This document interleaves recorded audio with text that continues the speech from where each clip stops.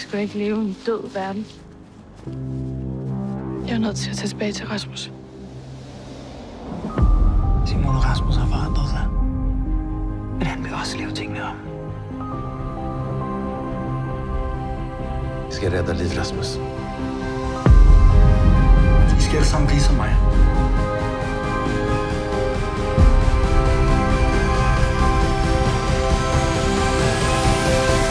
Vi kan skabe en ny verden. Kommer til at være overalt. Din bror havde held. Nej. Jeg er et monster. Rasmus, det her er ikke løst. Men det er jo mig, der kan redde dem alle sammen. Det er mig, der... Jeg kan slå os alle sammen ihjel. Hvad gør I? Jeg skal stoppe ham.